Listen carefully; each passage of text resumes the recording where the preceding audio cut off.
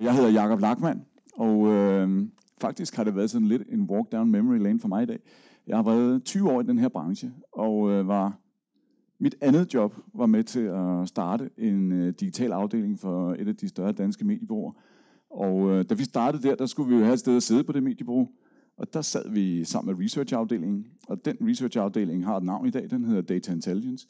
Så det var meget sjovt. Og en af mine øh, første kunder, jeg havde dengang, var Fakta. Og Fakta havde en meget øh, fremsynet kundeansvarlig person. Det var Werner Bager. Øh, så det var meget underholdende at stå her i dag. Men øh, det var ikke så meget det, vi skulle tale om. Øh, hvis I skal lige få en, øh, en kort intro til, hvad jeg arbejder med til daglig. Jeg arbejder med et firma, der hedder Audience Project, og Audience Project, der laver vi to forskellige ting. Øh, vi laver audience measurement, øh, verificering af alle de online kampagner, I kører. Vi arbejder med cirka 95% af de mediebrugerne i Norden, øh, her blandt Mindshare. Øh, og så leverer vi også øh, targeting data til at målrette kampagner. Vi har øh, nogle forskellige partnerskaber og øh, samarbejdspartnere i Norden. Vi er researchpartner for Google og Facebook, som vi hjælper med at understøtte deres øh, evaluering af deres salg. Øh, vi er også øh, certificeret til at måle øh, Facebook. Så har vi øh, nogle research-samarbejder sammen med øh, eMarketer, hvor vi laver undersøgelser og baggrundsdata til dem, når de publicerer noget. Og så øh, min favorit, det er, at vi vandt Best Audience Measurement Platform øh, på noget, der hedder DigiDay Signal Awards. Og det er min favorit, fordi at det er en amerikansk pris, og vi har absolut ingen business i Amerika. Øh, så det synes jeg er meget sjovt, at vi kunne vinde den.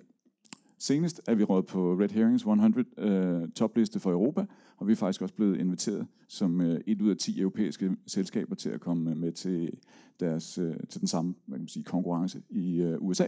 Så det skal vi faktisk i næste uge. Um, jeg kunne godt tænke mig at springe direkte over i at vise en film, som, øh, som vi har lavet, for at prøve at, at vise nogle af de tanker om, hvordan vi øh, ser verden. Se om jeg kan klare den her. Language holds a paradox. It makes us understand the world around us. But it also limits us from the things we do not understand. Based on our language, our nationality and experiences, how we perceive the world will always be unique. Mathematics, on the other hand, is a universal language. It can cross cultures. It can even cross between man and machine.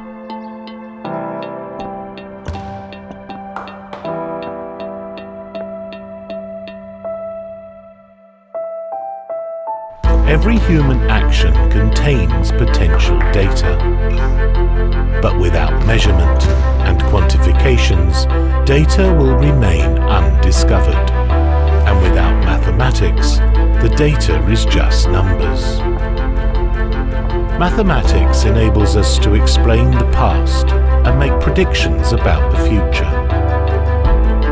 With the digital era, the amount of data is growing bigger by the minute and becoming more complex by the hour.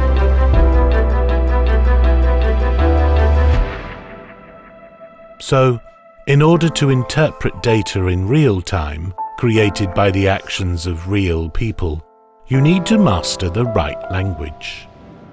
Audience Project Complex Made Simple. Øhm, den film har vi lavet, fordi at i dag der lever vi i en verden, hvor alt hvad vi gør, det driver noget data. Alt hvad vi laver, alt når I kører rundt i jeres biler, cykler rundt på jeres cykler, alting, alt øh, ender med at blive data. Og data er i virkeligheden fundamentet for det, jeg skal tale om de næste måske 20 minutter cirka. Og øh, en af årsagerne til, at, øh, at data er interessant i, øh, i en mediekontekst, det er, fordi der er et kæmpe skift i øjeblikket i vores branche. Det har stået på i et stykke tid, men det er virkelig ved at komme undervejs nu. Det er skiftet fra at købe medier til at købe audiences. Man køber ikke længere noget, med, hvor man gerne vil være på forsiden af et medie, øh, på forsiden af Ekstrabladet eller Berlingsk eller noget andet. Man køber et audience, man vil gerne ramme kvinder mellem 20 og 40 år med en lang uddannelse og børn i husstanden eller noget i den stil. Så det drejer sig om data. Det er databaserede segmenter, man går ud og køber. Og i virkeligheden er det her ved at blive trukket endnu længere ud. Det er ved at blive trukket hele vejen derhen til, hvor at man skifter fra media til audiences og audiences videre til people. Og det er på en eller anden måde lidt skræmmende at gå og snakke om, fordi i virkeligheden så er de muligheder, vi har for at identificere individer, måske ikke ved navns nævnelse, men individer med i hvert fald 90% præcision omkring, hvad man har af interesser, hvor gammel man er, hvor man bor hen, hvilken husstand man tilhører, hvilke devices, der tilhører en og alt andet. Der er rigtig meget data, som er tilgængelig, og man kan bruge til det. Øhm. En af de ting, der er kommet sammen med øh, skiftet fra media til audiences, det er, at transparensen øh, har fået et lille hak. Før i tiden, så købte man øh, en annonce på forsiden af Ekstrabladet, og så fik man en rapport, hvor man kunne se i forsidevisninger på Ekstrabladet, så har man fået så og så mange visninger, man har fået så og så mange klik. Det var fantastisk. Det dur ikke længere, fordi nu bliver medierne købt ind på platform. I de platform, der lægger man sit segment ind og siger, jeg er egentlig ligeglad, hvad det er for et medie, jeg køber ind på. Jeg vil bare gerne ramme det her segment. Og så får man en kæmpe liste, hvis man overhovedet får det. Nogle steder er det bare sådan nogle packages i bulks, som man i virkeligheden ikke kan se, hvad det er. Så lige pludselig er behovet for transparens kæmpestort. Og det er også noget af det, der sker i vores branche i øjeblikket. Det er, at man skifter helt væk fra at kigge på clicks og impressions, til at man begynder at kigge på, er det in-view, er det in-demo, er det brand safe, er det i virkeligheden et menneske, der har set den. Øhm, alt sammen er datadrevet. Og alt sammen er en kæmpe udfordring i medieindkøbet. Hvis øh, I kender måske nogle af tallene, men sådan lige hurtige skud, så er det cirka 50% af alle visninger på internettet, der er out of view. Så de er aldrig set. Øh, 20%, 20-30%, det er robotter. Så tilbage er der det, som rent faktisk bliver set af mennesker. Og så sidder man og tænker, det er jo en forfærdelig historie, og det må vi gøre noget ved. Det skal man også gøre noget ved, fordi på internettet er det digitalt, der kan man gøre noget ved det. Men hvis man skal sammenholde med tv, så har vi lavet nogle forskellige undersøgelser på tværs af Norden, hvor at 87% de svarer, at de er på minimum et andet device, mens de ser tv. Så man skal også lige have et eller andet perspektiv på det, når man nu står og kritiserer digitalt. Men selvfølgelig skal man kunne gøre noget ved det, når man kan. Det er jo forskellen. På digitalt, der kan vi måle os til det, og så kan vi sige, at vi vil kun betale for det, der er in-view, det, der er viewed by humans, det, der er brand safe, og det, der er i den rigtige demografi, vi har købt. Og det er jo de krav, som øh, kommer i dag. Nå. Øhm, det her det er en artikel, som var for et par uger siden i The Economist, og jeg synes faktisk, det er en rigtig fin måde at anskue det her på. At data, det er nutidens olie. Det, der skete øh, for, et par, eller for 100 år siden, hvor at oliebranchen kom op, det var, at, øh, at man fra staternes side var nødt til at bryde øh, oliemonopolerne op i forskellige virksomheder, fordi der var simpelthen for meget magt koncentreret på for få hænder. Det var ikke en, en holdbar situation. Og The Economists analogi her, den kører på data, som I kan se nogle af navnene her, Amazon, Google, Facebook, andre. Det er kæmpe buckets af data. Det er noget af det, vi skal snakke om i dag. Øhm, det her quote, 90% af alt data, det er genereret i de sidste to år.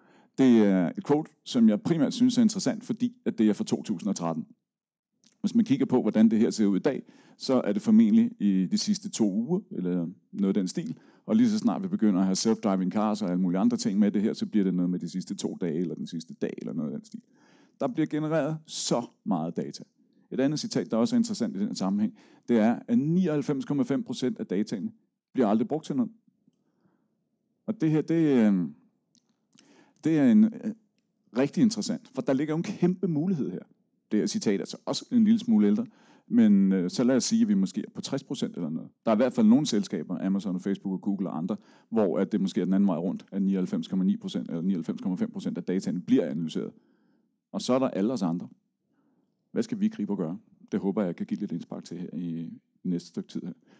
Hvorfor er data så interessant? Jamen data er rigtig interessant, fordi at data det giver dybere indsigter, og det giver muligheden for at optimere. Hvis man ikke har data, så kan man ikke tage et fornuftigt valg. Man kan ikke tage et øh, underbygget valg. Optimering, og det er optimering på alle mulige måder. Det er optimering af kundernes oplevelse, når de besøger websitesen. Det er optimering af kampagneindkøbet. Det er, det er optimering af, hvor meget spild har man, når man øh, investerer sine mediekroner. Der er masser af ting. Alt sammen, hvis man bruger sine data, kan man optimere det. Det her det er en del af, af Audience Projects øh, vision og missiongrundlag. Og det her det var super fremsynet i august måned 2015, da vi startede op med det her. Um, all audiences will be digital and will be bought on the basis uh, af specific audiences. Uh, den er ikke så fremsynet længere. Der er programmatic print, der er øh, programmatic outdoor, der er digitaliserede biografer. Der er alle mulige forskellige ting, som stille og roligt begynder at blive købt som audiences. Så den del af det er ikke længere så, øh, så fremsynet. Men den nederste del af alt data være, være flydende i et transparent økosystem. Den er sat med stadigvæk. Den er der krummer i. Fordi at der er ikke nogen transparens i dag. Der er ikke nogen flydende økosystemer i dag. Det man skal tænke over her, det er Minority Report. Tænk over det. Hvordan han går rundt i shoppingmålet og bliver genkendt af alle reklamerne. Han har dataene med sig. Reklamerne genkender ham. Jeg tror, at der i løbet af de næste måske 10-15 år kommer et kæmpe skift, hvor at data det bliver noget, vi selv skal have. Det vil sige, at de omgivelser, vi skal bevæge os rundt i, de skal genkende os med det data, vi kommer med. Men dataene, det er vores. Det bliver et kæmpe skift. kommer til at flippe fuldstændig rundt på de ting, vi laver i dag. I dag så er det virksomheden, der aggregerer data og opbygger data og prøver at lære noget omkring. Det bliver meget vigtigere, at, at man kan analysere det data, der kommer real time, on the fly, når folk kommer forbi med de data, man skal genkende. Det her, det er nok lidt mere, hvordan det ser ud i dag. I dag, der er de fleste virksomheder, de har masser af data.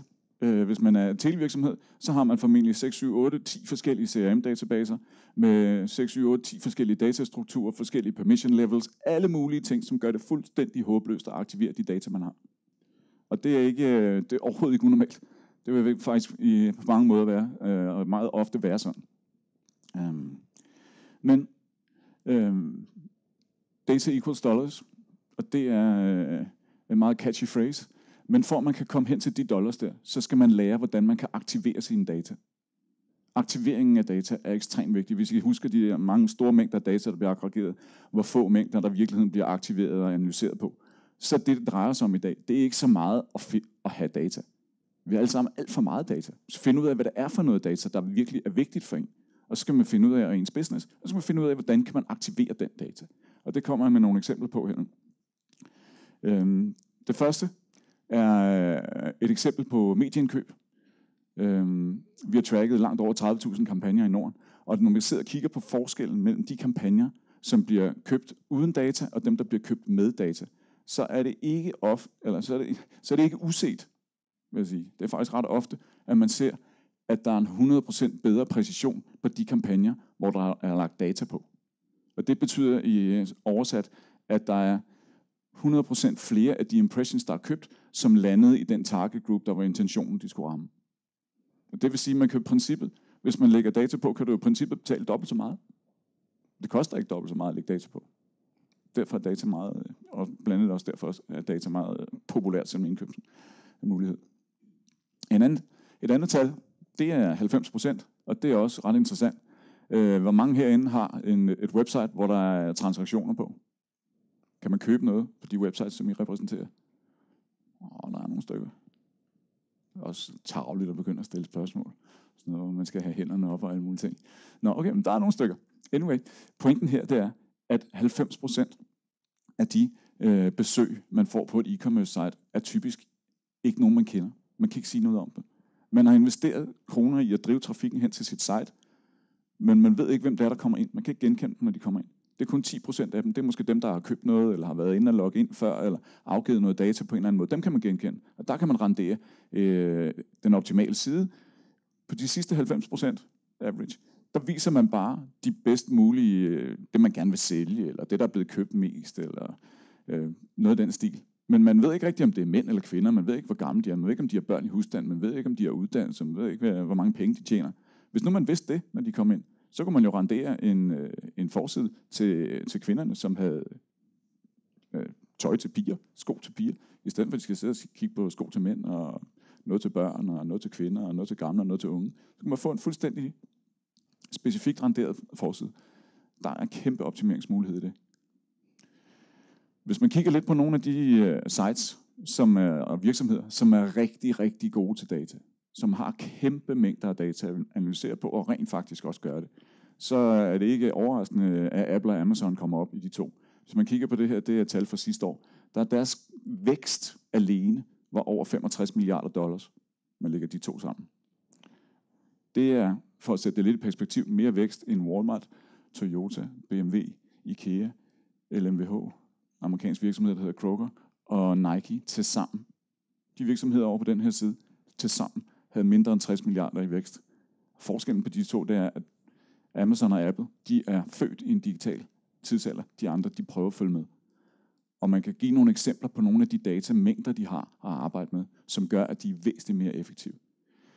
Specielt sådan et firma som Amazon er virkelig noget, man skal, man skal tænke over. Vi har ikke ramt så meget af det i Norden endnu, fordi vi er et lille marked, så vi er ikke øh, vi er små markeder, specielt Danmark er et lille marked.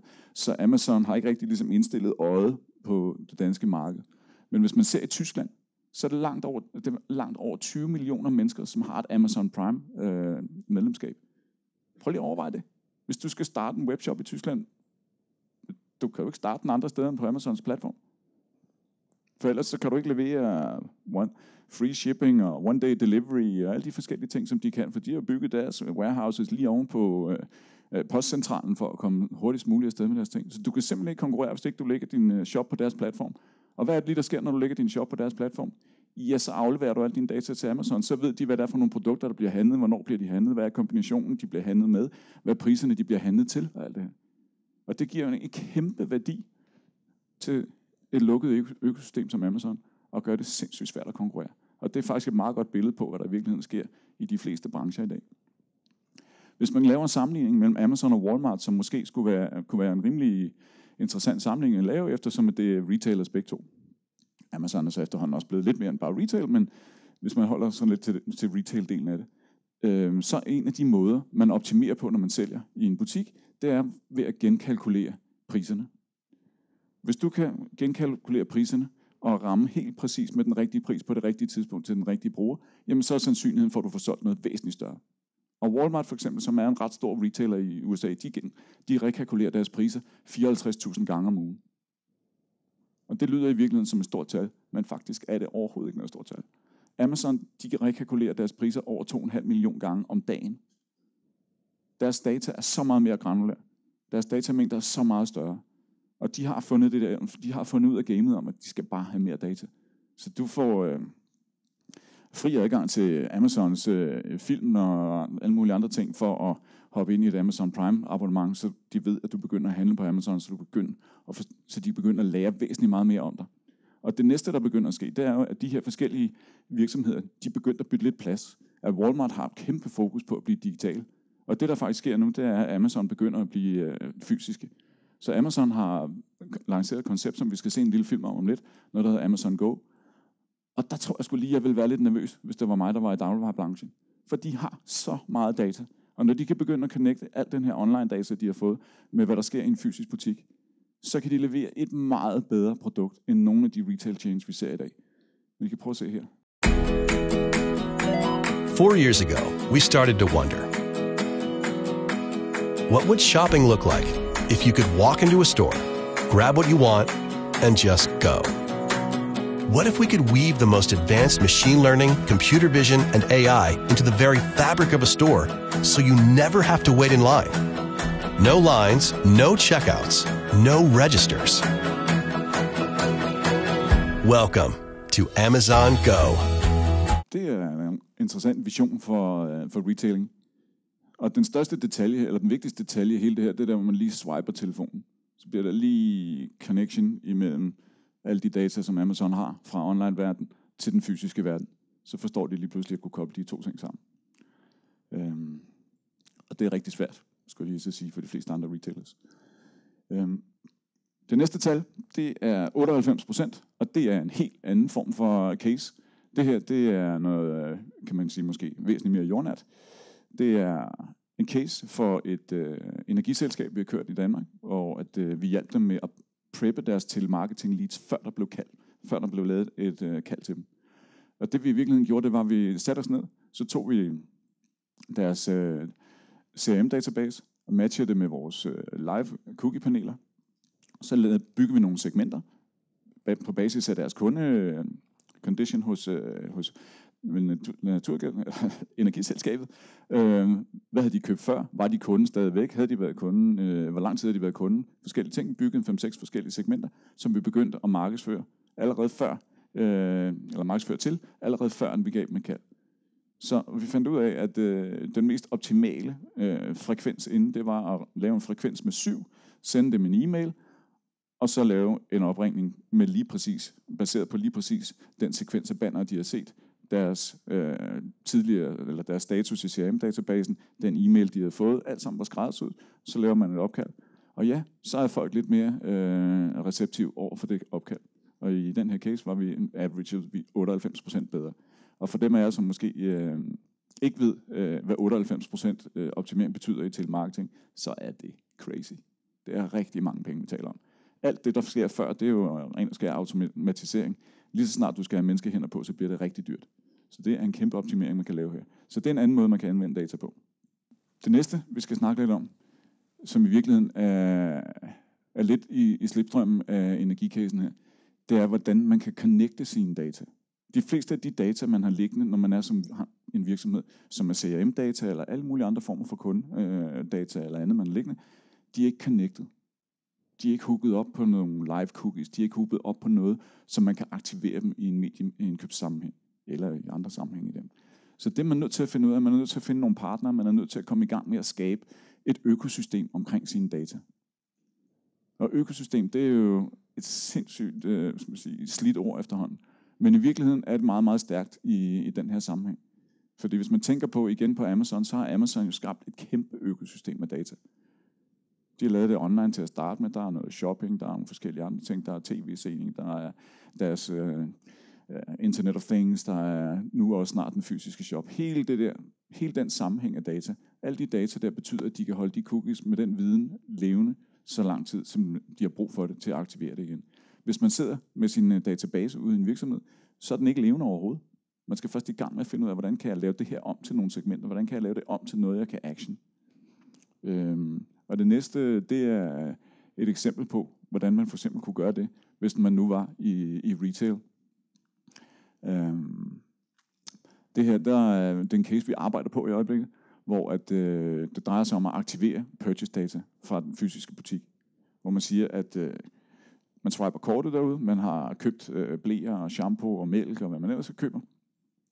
Hvordan omsætter vi den bomsammensætning? Hvordan omsætter vi de data, vi nu ved, den her person har købt? Hvordan kan vi knytte det til en person og finde ud af, øh, hvad de har set uden mediesammenhæng? Og det, der er tanken her, det er, at man tager purchase data, man øh, sætter det sammen med en loyalitetsklub. Loyalitetsklubben har nogle øh, identifiers, man kan koble med nogle live data, og lige pludselig, så kan man skabe segmenter, som man kan købe ind på, og man kan se, øh, hvad, det er for nogle, øh, hvad det er for nogle kreativer, og hvad det er for nogle kontekster, der er blevet set noget øh, reklamemateriale, og så kan man se, hvad det driver af, af shopping basket. Det er en måde, man kan aktivere sine data på, for eksempel. Det kan være alle mulige andre måder. Men det vigtige er, at man på en eller anden måde gør de data, man har, levende. Hvem er det så, der er vinderne i, øh, i medielandskabet? Øh, det er nok ikke nogen overraskelse som det længere. Øh, det er Google og Facebook. Og de her tal, det betyder egentlig ikke så meget. De er for første halvdel af 2016. Og hvis man lægger sammen, så ja, så er det korrekt. De 203 procent af, af den markedsvækst, der var til sammen. Det vil sige, at de to mere end 100 procent, det vil sige, at alle andre er gået lidt ned. Og hvis man nu lægger øh, Amazon ind i den her equation også, så havde Amazon faktisk en vækst på 60 procent på deres medieplatform. Den er slet ikke samme størrelse som de her. Men det vil sige, at alle de andre har tabt endnu mere, end det man kan se ud af det her billede. Så det er den verden, øh, de fleste medier lever i i dag. Og det er faktisk øh, rimelig skræmmende. Men hvis man kigger lidt på, hvad det er, der gør, at de her virksomheder, øh, eller i hvert fald mit bud på, hvad der er, der gør de her virksomheder, øh, så succesrige, så er det de her tre dimensioner, når man kigger på. Profiling, de har rigtig meget data. Masser af profiler på øh, forskellige personer. Og de har også ability to activate. De kan aktivere de her profiler, de kan aktivere den data, de har. Så har de frekvenskontrol. Og det er, eller hvad skal man sige, ja, øh, frekvenskontrol. Og det er også super vigtigt. For hvis I prøver at forestille jer, hvordan man egentlig bliver oplevet, eller oplevet af et, øh, af et målsystem i dag, jamen så bliver man jo oplevet som, som cookies. Og vi har alle sammen forskellige devices. Og vores forskellige devices har forskellige browsers og forskellige måder at tilgå internettet på. Så hvis man bare tager en, en mobiltelefon op, så har den måske tre forskellige cookies på. Så vi kan jo hver især blive oplevet som måske 8-10 forskellige cookies. Og det, det, er der ikke noget, det er jo ikke relevant. Så kan man ikke lave et narrativ, man kan ikke lave en historie. Du, du kan ikke styre, hvornår du fortæller hvad til forbrugeren. Der, hvor det bliver rigtig interessant, det er, når du kan styre cross-device, så man ved, at øh, man kan ramme personen på sådan laptopen derhjemme om, om morgenen, eller hvad, hvad det er, man er på. Man er på med mobiltelefonen, når man er on the fly, laptopen igen, når man er på kontoret, og man ved faktisk, at du var derhjemme til at starte med, så det er en kommunikation, når du på kontoret, det er en anden kommunikation, man skal have. Men man kan tælle og styre, og det er noget af det, de kan. Altså når vi laver de her studies for, for Facebook, kan man se, at når de bruger øh, 1 million impressions, så rammer de måske 800-900.000 mennesker. De fleste andre medier, de skal i hvert fald bruge 3-4 millioner for at danne den samme reach. Og det betyder selvfølgelig noget for medieindkøbet. Det gør jo det meget mere øh, optimeret. Og det vil sige, at Facebook kan sagtens tage den dobbelte pris af, hvad de andre medier kan. Det er stadigvæk billigt. Øhm, så reach er også sindssygt vigtigt i den her sammenhæng. Man er nødt til at have en kæmpe reach at arbejde på inde i sit økosystem. Facebook har sin egen kasse, de arbejder i. Google har sin egen kasse, de arbejder i. Amazon har deres egen kasse, de arbejder i. Hvilken kasse arbejder I i? Det skal man finde ud af. Så kan man jo vælge, at man siger, at man vil tabe ind og bruge deres økosystemer. Men hver gang man gør det, så får man både lov at betale med penge og med viden. De, op, de opbygger sindssygt meget data, hver gang man bruger dem. Og det er jo fint nok, hvis man ligesom går open-minded øh, ind i det trade. Man skal bare vide, at man betaler dobbelt. Øhm. Så kommer vi lidt frem til at, at kigge lidt på, sådan lidt mere jordnært øh, i virkeligheden. Øh, jeg lovede at lave øh, et oplæg på, hvordan kunne man øh, arbejde med øh, noget som biospil for eksempel, øh, som er Biografclaims øh, app. Og den øh, app kan jo være en placeholder for i virkeligheden mange af de ting, som man laver som brand. De fleste brands har jo assets i dag, hvor man har sin egen trafik. Øhm. man skal i gang med at opbygge sit økosystem. Der skal opbygges nogle data, der skal opbygges øh, øh, noget viden, og hvis man trækker lidt tilbage til øh, The Economist-artiklen, jamen så skal man i virkeligheden begynde at, at udvinde noget data og udvinde noget olie. Så skal man finde i gang med at raffinere det og aktivere det. Og en af de måder, man kan gøre det på, det kunne være øh, på den her måde. Øhm, man starter med at kigge på, øh, på appen øh, og begynder at analysere, hvad er det egentlig for nogle brugere, der er derinde. Træk dataen ud. Begynd at forstå, hvad det er for nogle brugere, der er derinde. Profilere de brugere. Se på deres adfærd øh, lære noget om dem. Du lærer noget om dem på to dimensioner, både på den demografiske del, men også på deres behavior. Øhm, det gør man for eksempel via et, øh, et survey. Øh, og helt konkret så arbejder vi sammen med Biospil i dag, og har lagt vores in-app øh, survey-modul ind der, så man kan begynde at lære noget om, hvad det er for nogle mennesker, der er derinde. De data, man opbygger der, kan man begynde at, at bruge til at validere øh, kampagner, man kører. Man kan begynde at forstå, hvad det er for nogle øh, brugere, der er inde på biospil. Man kan finde ud af, hvad det er, de gør, hvad det er, de bliver ramt af, og hvilke nogle actions de tager. Og til sidst, så kan man vælge at tage det data og bygge segmenter ud af det, så man kan begynde at købe øh, reklamekampagner ind. Øhm, og så har man fået aktiveret noget af det data, man har liggende på sin side. Så i virkeligheden, start med at samle dataen ind, læg dem i de rigtige kasser, begynd at strukturere dem, lære noget om dem, modellere på dem, bruge dem til medieindkøb, så man kan få færre eller flere af dem, man gerne vil, og lige pludselig så har man udvidet sit inventar og udvidet størrelsen på det medie, man har. Og det kan virkelig være en placeholder for biospil, det kan være en placeholder for en virksomhed brand hjemmeside, man har. Der kan man gøre det samme. Sidder med bud. Men hvem er det, der er mine øh, frequent shoppers? Hvem er det, der er large shopping baskets? Hvem er det, der er non-shoppers? Eller hvem er det, der tager prøvekørslerne? Øh, og begynde at bygge segment på baggrund af det, begynde at købe ind på lookalikes i forhold til dem. Det er en måde, man kan gøre det på. Øhm, sådan lidt øh, perspektivmæssigt, kan man sige. Øh, nu er der ikke så mange øh, media owners her i dag, øh, men i virkeligheden er den her faktisk en meget god placeholder for, hvad man er nødt til at gøre. Hvordan jeg sådan i virkeligheden, øh, og vi tænker over fremtiden når man skal kæmpe, hvilket man skal, kæmpe imod de her store wall gardens, nogle gange mod og nogle gange med, jamen så bliver man nødt til at tænke over, at man er meget lille. Alle de lokale spillere, som synes, de er store, de er lige pludselig blevet meget små. Altså hvis man kigger på øh, øh, i USA for eksempel, der øh, er der meget godt eksempel på, hvor, hvor, hvor, hvor man ser tingene lidt forkert. At, øh, at Time øh, har købt øh, AT&T, og den, øh, den handel, den har meget svært ved at komme igennem øh, monopoltilsynet derovre. Og det er jo, kan man måske sådan umiddelbart godt forstå. Men i virkeligheden, hvis man ser det fra et datasynspunkt, og, og en størrelse og en vækstsynspunkt, jamen så er det jo egentlig, så skulle de bare lade det ske. Så har man da i hvert fald en lokal konkurrence, som måske begynder at få øh, muskler og størrelse, som, som kan gøre noget. Øh, I Danmark har der været de samme udfordringer, hvor JP Pol har prøvet at, at købe børsen, men kunne ikke få lov til det, fordi det var simpelthen for meget medieplads samlet på en hånd. Det er jo kun fordi, at der ikke er noget indsigt i, hvad der sker i de walled gardens, der er. Så jeg synes at faktisk på sådan et øh, personligt perspektiv, at det er ekstremt skræmmende, det vi lever i. At vi lever i en tid, hvor at øh, dem, som bestemmer, faktisk ikke helt har forstået, hvad der er, der foregår. Altså Facebook, hvis man nu sagde, at Facebook var et land, så var det et land med 1,9 milliarder mennesker i. 1,9 milliarder, det vil være verdens største land.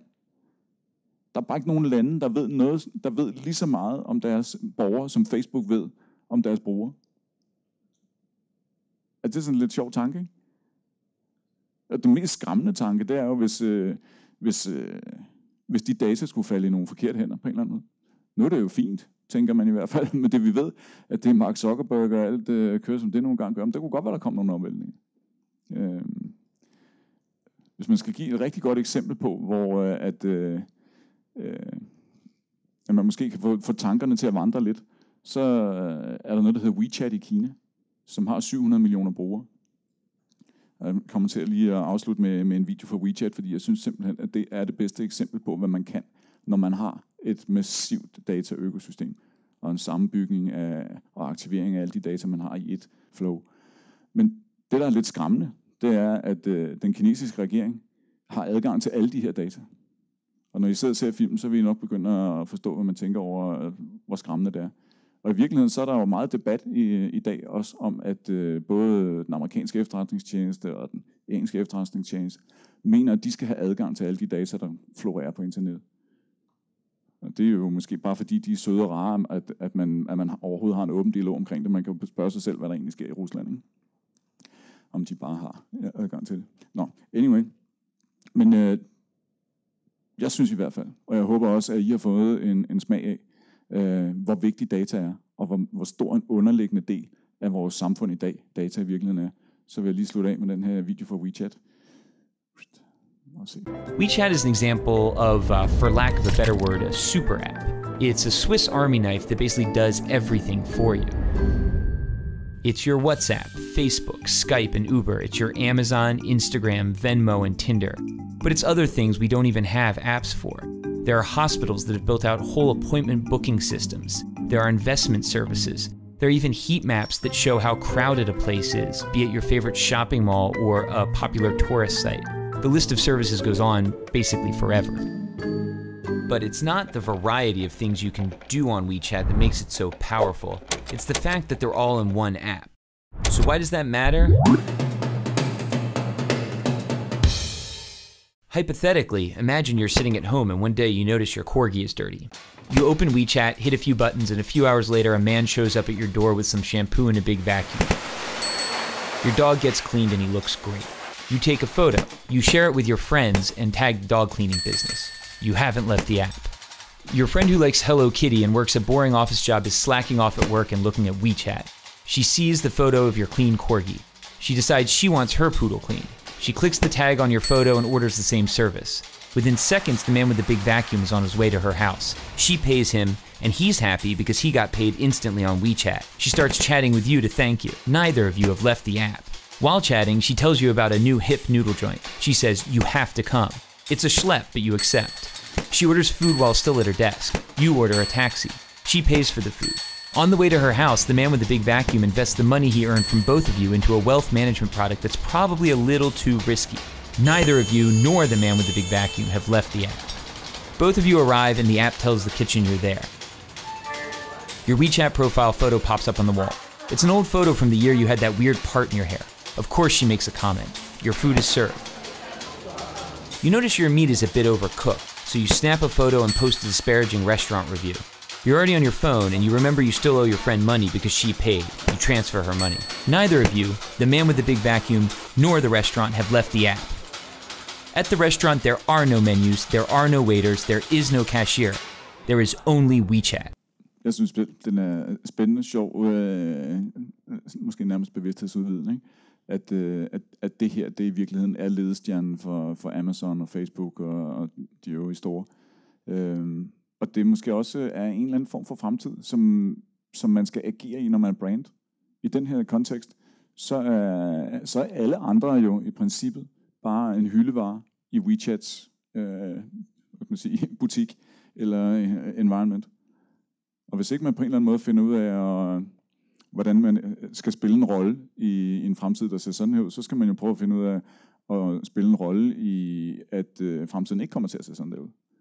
Og det, øh, det tror jeg bliver ekstremt interessant at se. Det er derfor, jeg synes, den der Economist-artikel faktisk er så spændende, hvor man, hvor man begynder at snakke om government intervention, at der er for meget øh, power på for få hænder.